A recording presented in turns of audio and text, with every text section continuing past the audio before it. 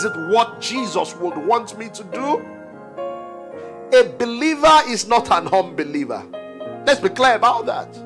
You can't live your life as if there are no laws of God. The Bible says, Come out from among them and be separate, says the Lord, and I will receive you.